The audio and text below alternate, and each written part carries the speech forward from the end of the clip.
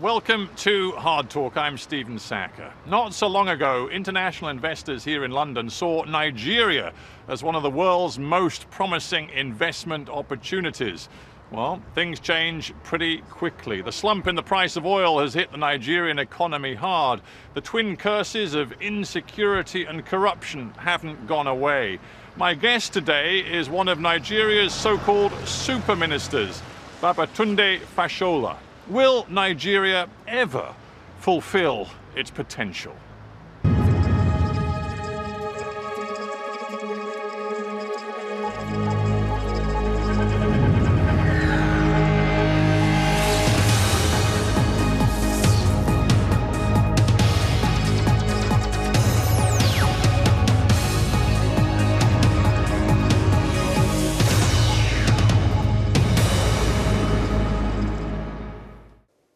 Babatunde Fashola, welcome to Hard Talk.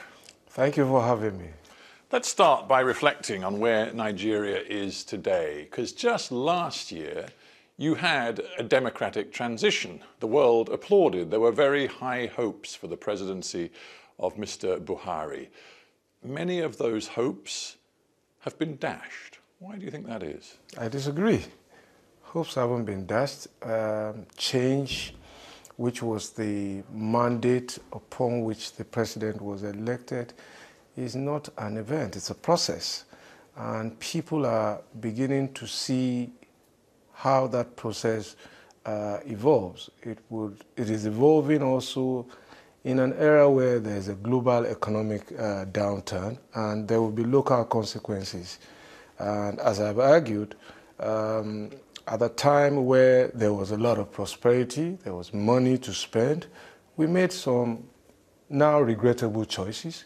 We didn't spend on investments, particularly on infrastructure, and therefore uh, we consumed all our, all our extraordinary income, as I choose to call it. And therefore, when there's a global downturn, the consequences will be diverse from each nation. No nation is immune from what is happening now. And people who are better able to weather the storm now are perhaps those who invested wisely in educational assets, in uh, security assets, in transportation assets, power generating assets, but it doesn't make them immune uh, from, but they will better withstand. So it's like preparing for winter, really. Mm. But well, at the end of every winter, I think there will be a, a very glorious spring. Yeah, I suppose it depends how fierce, how uh, horrible the winter is before you get to spring. And right now, much of the world's attention when it comes to Nigeria and what's happening in your country is fixed on the northeast of your country and the fact that while you, as a minister, are responsible for building the infrastructure for a 21st century country, you actually, in the northeast of your country, have at least 2 million people who, according to the United Nations, are living on the brink of starvation. How can that be?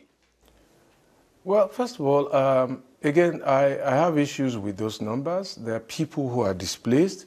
Um, but the point to make also is that there's progress now in the Northeast. The president has fulfilled his mandate to um, taking control of the security challenges of the Northeast. Well, and if you Minister, move, he, if you move he, from a situation of as war, as far as the world is concerned, he hasn't delivered on his promise because he very clearly promised to deliver victory over Boko Haram by the end of 2015. And here we sit in the summer of 2016, and there are still clashes, still bomb attacks, still Boko Haram uh, atrocities committed against your own civilian population long after this war is supposed to be over.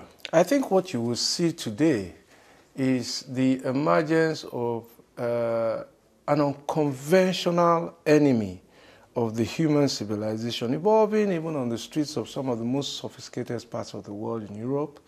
And, and, and, and, uh, and leaders are really challenged now in terms of restoring order to the Northeast. I believe that the evidence that speaks today of people beginning to trade again on the streets of Borno, in Damaturu, in Yobe, construction going on in Adamawa, that I am aware of, roads being built means that order has returned. Well, I don't now, know about order. I'm talking about dealing, dealing the, with the MSF chief in Borno saying we are talking about areas in which 40% of the children have severe acute malnutrition. It is a truly dramatic situation. In my whole career, she says, since 1999, I've never seen anything like it. That's the reality. If you have prolonged today. war if you have prolonged war where women and children have been displaced by a mindless group of terrorists, some of the aftermath of that war will be that it is children who are vulnerable, who would have malnutrition, who would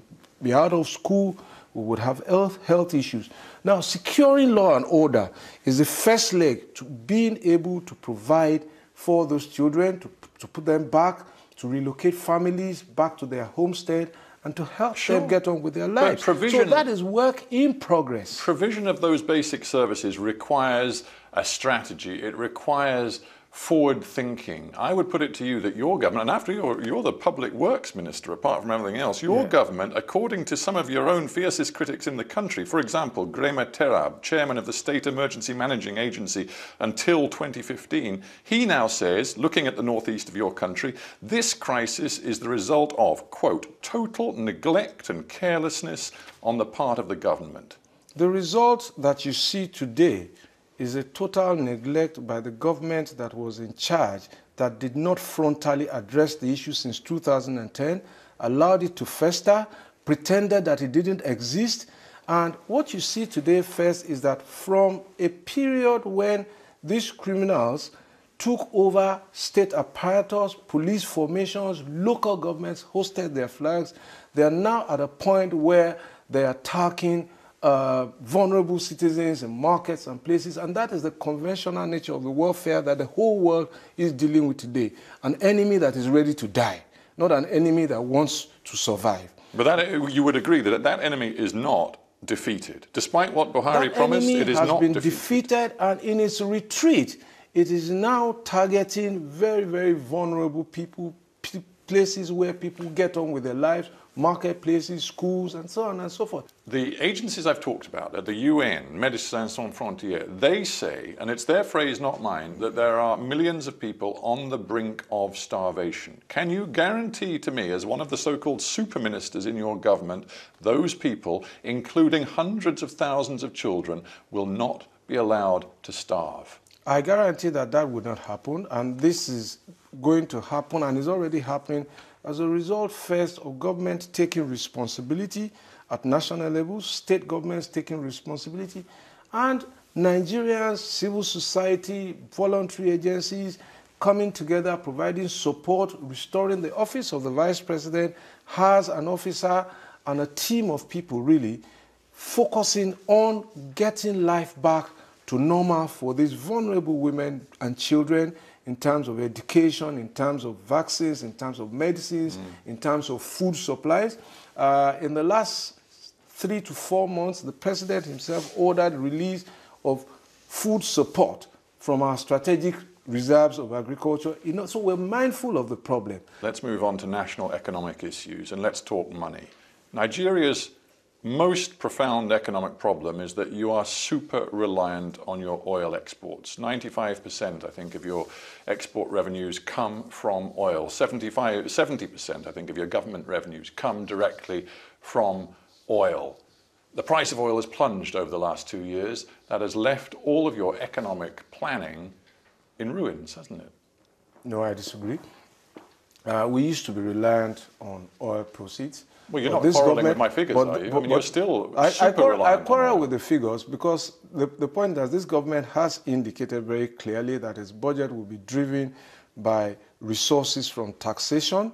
And any serious government, any forward-looking government like this government must understand that the boom that comes from commodity prices really is extraordinary income. You can't plan a future around extraordinary income that you don't control the cycles. And yes, whilst we may have made some very poor choices over the time about how we spent that money, clearly this administration has a focus now that we will deal with our funding issues first from taxation, corporate taxation and all of that. And the Unlike in the past where we were budgeting to earn about $70 per barrel of oil, this was a very conservative oil-supported budget of $38 per barrel. Even at that time, it was trading at yeah, more than that. It, it's not just about the price, it's also about the, the capacity and delivery of, of the oil you've got. For example, you know, we talked about security in terms of Boko Haram. Yes. You've now got new security issues in, in the Delta with a, a new group, the, the so-called Delta Avengers, who are attacking pipelines. And again, for you as a minister responsible for infrastructure in the, your country, how can you defend the fact that Shell, Chevron, other key producers have had to stop production because a new brand of militants are destroying the infrastructure? Well, I understand that uh, the problems there now and the people who are aggrieved and who have chosen uh, a very uh, unencouraging outlet to vet their anger, but it is not something that would endure forever. And uh, government. They, they say that campaign is going to get worse. They say you've basically, to paraphrase them, you ain't seen nothing yet. Well, that that that is that is not unusual to hear by a group that wants to to project and uh, and be seen to be some group to be to be taken seriously. But I know that we are working hard to engage with them and also to secure, because there's an obligation first to secure the, the, the assets there. Those but assets the, the, are national assets. But Minister, what I want you to as, do is, as, is as address. National patrimony. I want you to address realities. I mean, the, the insecurity has cost you, I think, uh, roughly a quarter of your oil output. Without in, a doubt, we've lost, we've, we've lost some of our. Yeah. so, so, our, so here you are. You projected sit, revenues, you, but we are coming back. Well, you sit with me. Production is is improving until the next round of attacks. But you sit with me as the minister responsible for delivering uh, a much more efficient and um, expansive power system, roads, infrastructure. That's your job. But yeah. the government doesn't have the money. The oil price has dropped, oil production has dropped because of the new insecurity. So where are you going to find the money to deliver on all of your promises? We, we are funding our budget already.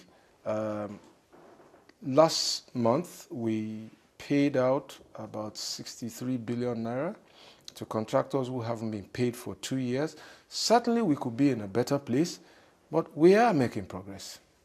Well, you need to make more than just a bit of progress. You need to go an awful long way, particularly I, I, in I terms of power generation. I didn't say I didn't say we made a bit of progress. We are making a lot of progress. Well, I'm saying a bit because in, I'm looking the at the context figures. in the context of where we were coming from, paying out 63 billion naira to contractors who haven't been paid for two years is the best way to start to get your infrastructure back in place, get people back to work, get production going, and begin to rebuild your economy. Well, that it, didn't it, happen. That didn't happen in a whole budget cycle from the government we inherited administration. Here's from. what is so this is a this is the first quarter. Uh. This is the first quarter performance. Well, here's what Eze Onyekpere says. He's the senior lawyer working for the Center for Social Justice in Nigeria. He says, We aren't seeing a single contract mobilizing. Delays have meant that work on road, power, and other programs has stalled or come to a halt altogether. I don't know when that statement was made, but uh, if you go onto the major highways from Lagos to Ibadan, from Kano to Katsina,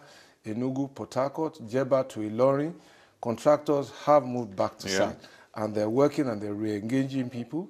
You said by the end of this year, you'd be getting to 6,000 megawatts. There have been times in the recent past where your entire generating system has actually not even delivered 2,000 megawatts, so you're never going to meet your targets. Our generation capacity has hit 5,000 megawatt. Of course, there has been sabotage that we have You have sabotage, you have outages, you the, have you have grid, a grid that is the, obsolete. The grid isn't obsolete. The grid is being rebuilt and expanded and developed as I speak at the moment. And uh, there's a lot of work going on since I came on uh, to expand and strengthen the, the grid. The SCADA is being, is being upgraded. So there's a lot of work going on. We're in season essentially of running repairs, trying to make what we inherited work. And I am optimistic that it will work. You seem, again, to be a little undecided how over the next 10, 20 years you're going to deliver this massive upsurge in, in power generation. At one point you talked about renewables, you said solar was Nigeria's future. And then recently I got this quote from you, we are going to do a lot more gas and a lot more coal. We really feel uh, that coal has to be part of our mix. It isn't right now, whereas in South Africa and the US there is 30% coal. We need to do it too. I mean, did you not follow the Paris Climate Summit? Did you not buy into the idea that we're all decarbonizing the global economy? I have made the point repeatedly that if we have the capacity to deliver coal, if we have the capacity to deliver gas, if we have the capacity to deliver hydro and solar power, why should we be limited? What is important is the mix and the content uh, that it produces. And there are nations who have no other capacity or very limited capacity to deliver any sort of so power. So you will exploit than, coal as far will, as you can? We will. Because never mind first, the Paris we, Never we mind survive, We have to survive first in order to be a part of the global economy. And we will also keep our commitment. Let's talk now about delivery. You've got a strategy and you are very ambitious with your targets for power generation over the next 15, 20, 25 years. You tell me you're going to use all of the available means to do it, including coal. But there's one overriding problem that we haven't discussed, and it covers your sectors, it covers the whole economy, and that is corruption. Corruption, and again, Mr. Buhari has said it himself, is killing Nigeria. Well, I think that the, the, the clear evidence is that we, we could have done better in the way that we enforce law and order. I think that corruption is a symptom of a larger problem of non-compliance. And therefore, I would focus on law and order and in such a way that compliance becomes a way of life and people who fail to comply really are those who then scandalize us. And um, for me, there is no, there is no corruption-free country. It's a clash between law and order, really, and enforcement, and the lack of it. And the more of that we see uh, in our procurement process, in our way of life, in, in how open and transparent we do things, the better off we will mm. be. Well, if it comes to enforcement, uh, obviously Nigeria must be pretty much at the bottom of the global league table. I just I wonder how you felt when just a very short distance from here, just a few short months ago, then Prime Minister David Cameron saw your boss, President Buhari, entering a room and said he thought privately, although it was on a microphone, we've got some leaders of fantastically corrupt countries coming to Britain. Nigeria and Afghanistan, possibly the two most corrupt countries in the world.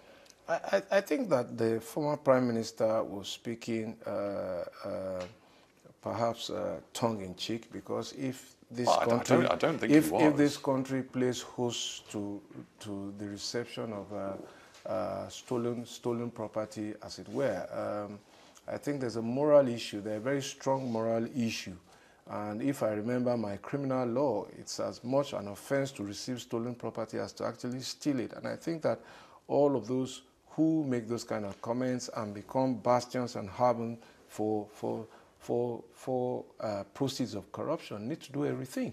But that is in the past. Well, I think the president I mean, has said clearly that he's not interested in an apology, he's interested in having the money back. So if you have something that's stolen, please give it back. Well, I tell you what the president said recently, which I'd like your opinion on. He said, because he has been seen, he, he fought the election on an anti-corruption ticket, and he said recently, I am worried that the expectation of the public is yet to be met by the judiciary with regard to the, remo to, for, to the removal of delay and the toleration of delay by lawyers, i.e., what he's saying is the judiciary isn't doing its job and coming down like a ton of bricks on people, very powerful people, who are still, in your administration, conducting corrupt practices. I don't think that uh, the judiciary isn't doing its work. I think that all of us understand that uh, there must be process to prosecution and uh, you can't break the law to enforce the law. And people's rights, constitutionally guaranteed rights must be respected in this. And, the, and that's not a local problem. There's also an international problem dimension to this all of the proceeds of crime mm. held abroad are also tied up in one form of judicial process where prosecutors actually get rewarded well, for, for, for what they seize. For recovering assets yes. and things like that, that's really important. But, but to actually crack down on the perpetrators in your own country, that's down to you guys. And the question is whether are, you're serious. I mean, listen, we are they, doing that. Contrary, you, Transparency International has you close to the bottom of the league table for corrupt nations right now. And their chief coordinator in West Africa said the other day, ending the impunity is about political will because those benefiting most are amongst the ranks of the leaders. People, I- may I, I say, think- such as yourself in government, you're the guys who many Nigerians feel I are think still that the- implicated. I think that the government has shown clear will. I think that you will see in the number of charges that are being that are being brought against people who were hitherto uh, thought to be above the law. And um, Can you name, me, I- any, I- I name me anybody who was thought to be above the law who's been brought before a court? I think that the evidence out there, uh, former security advisors, all of those party party chiefs, and all of that. I think the point to make is that locally, by rating, the people of Nigeria think that the president has walked his talk in terms of corruption. Do you think now? so? How many Do you- people you ultimately see in jail is one thing, and I think that the, the point must be made very clearly too that there are many interests here involved. The interest to see people convicted, the interest to recover, and the interest to ensure that it won't happen again. And all of these are going on simultaneously. You sound and that people you- believe that there will be consequences for action. Do you think the people of your country really trust people like you? I think they do. Even when they read, and you were a popular mayor, you got re-elected, uh, governor, excuse me, of Lagos uh, province, you, you got re-elected. So you had a good political track record. But after you left office in 2015, there were serious questions asked even about you. You spent 70 million naira on upgrading your website. You spent 600 million naira on a German engineering firm coming to improve the car park outside your official residence. People began to wonder whether even you had been abusing the public trust. Yes, uh, the point, the point, my response, I have made my response on those matters. If anybody truly believes that I acted in any improper way, and I've made the point here today that we need to be circumspect and very careful. While whistleblowing and transparency is all very good, hmm. we need to also understand that some people have worked very hard in their lives to earn their reputation, and um, people who make those kind of allegations must also be ready to stand up and verify them at least. Are they, are they. I mean, Minister, And- and- you- at least on here's oath. your chance. Are, So- are they not? I mean, you- nobody in has your country, accused most people earn less than $2 a day. Me, nobody has accused me of privately benefiting myself. There were allegations that I think, at the, at, at, at the very best, were a clear misunderstanding of how the procurement process worked. Let me end then by asking you, as one of the most senior, powerful ministers in the government in I'm Nigeria just a today- minister in the government. Well, you've got three portfolios, so you're doing pretty well. That doesn't know- make me powerful. it makes me responsible. Well, however you want to put it, let me ask you this. I've been traveling to Nigeria for Hard Talk for many years now, more than a decade. Every time I go, I hear Nigerians telling me that this is going to be our time. We are going to be the economic powerhouse of Africa. And yet, look at the reality today. Foreign direct investment down. It seems like uh, Ivory Coast, one of your neighbors, is actually right now more successful at attracting inward investment than you are. Oil output down, so that Angola has actually overtaken you as the biggest oil producer in Africa. Look at various metrics. Nigeria is failing to fulfill its potential. My response to foreign direct investment is simple that uh, no country survives on our own investment, but every country tries first on the investment of her people. And as long as first Nigerians are responding and investing in that economy, I think that we will turn this corner. As I said in the opening part of the, the, the, the discussion, that there's a global downward trend. National, national growth projections are being revised downwards. And in these very difficult global times, there will be diverse local consequences. Ours is no But different. Nigeria They are is the result- underperforming. they are, we're not underperforming. We're facing a turbulent time, a difficult tide, but we will navigate. We will come through. And I see that happening within a shorter time than a longer time. We have to end there, but Babatunde Fashola, thank you for being on Hard Talk. Thank you for having me.